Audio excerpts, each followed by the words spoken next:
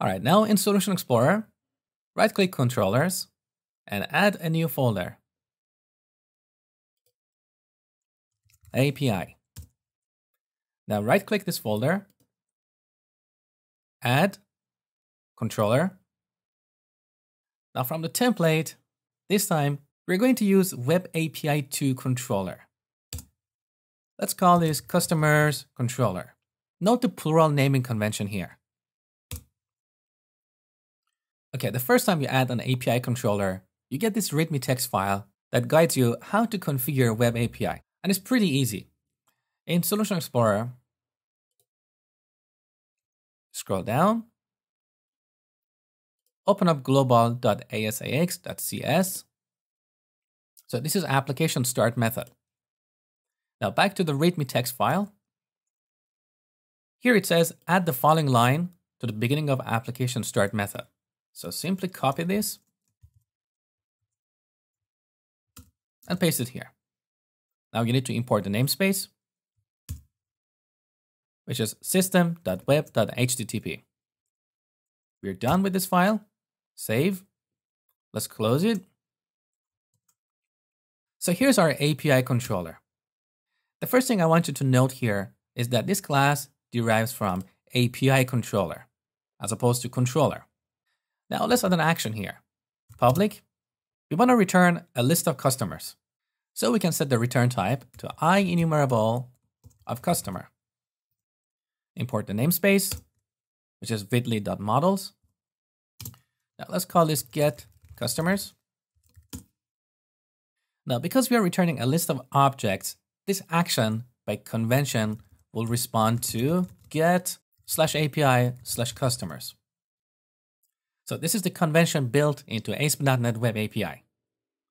Now in this action, we're going to use our context to get the customers from the database. So first we create a private field, application DB context, underline context, initialize it in the constructor. So nothing new so far. And here return context that customers that to list. Now another action to get a single customer. So that would respond to a request like this. Public customer get customer integer ID. Let's get the customer. Context that customers that single or default C goes to c.id equals id. Now, if the customer is null, we throw a new HTTP response exception. This method takes an enumeration that specifies the kind of error. So we're going to use HTTP status code dot not found. So this is part of the RESTful convention.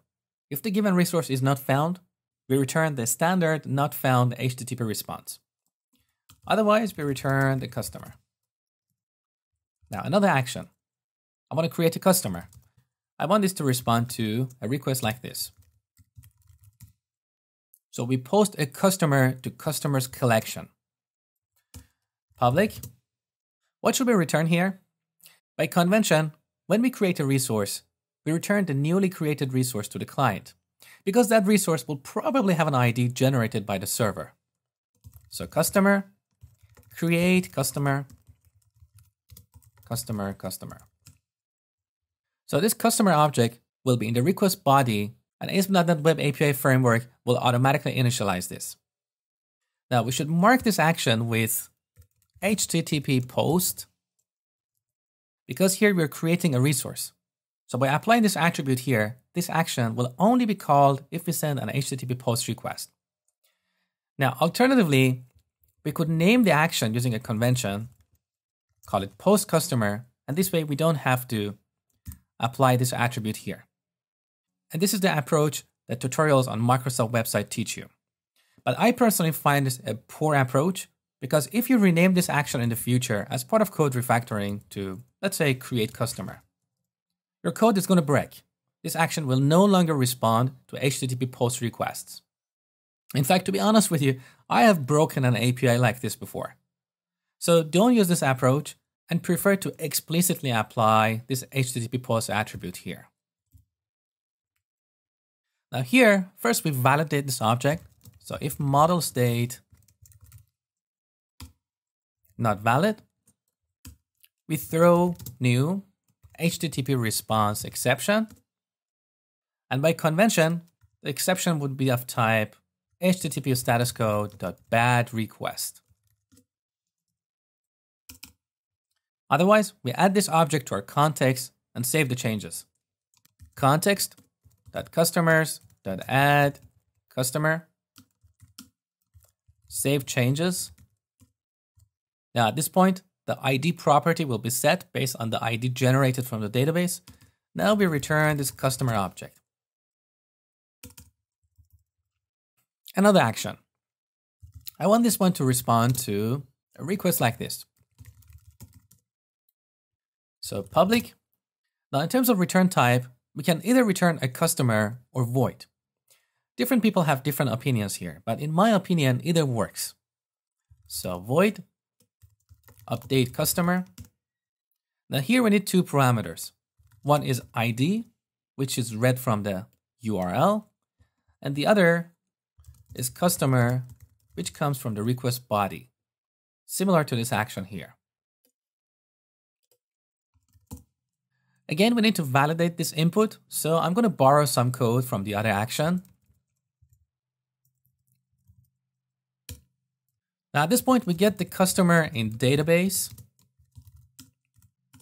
single or default. C goes to c.id equals ID. Now, it's possible that the client sends an invalid ID. So we need to check for the existence of this object. If customer in DB is null,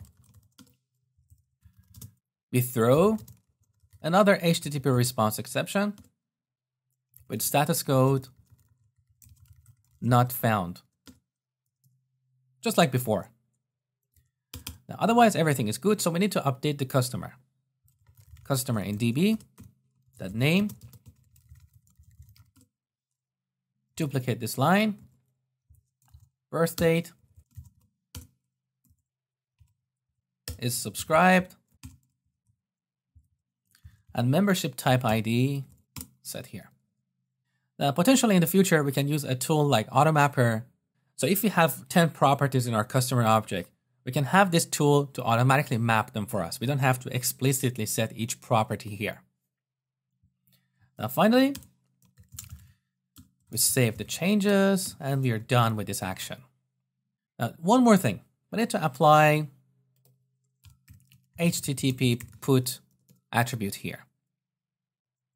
And the last action. We want this action to respond to a request like this.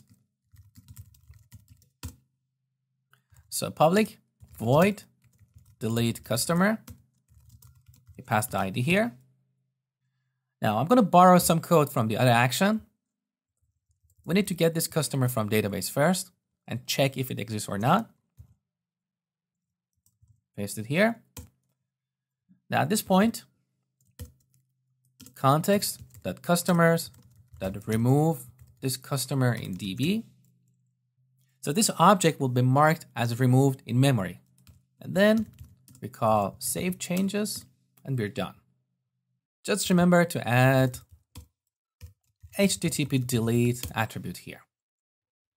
So this is how you build APIs with ASP.NET Web API. Next, I'm going to show you how to test this API.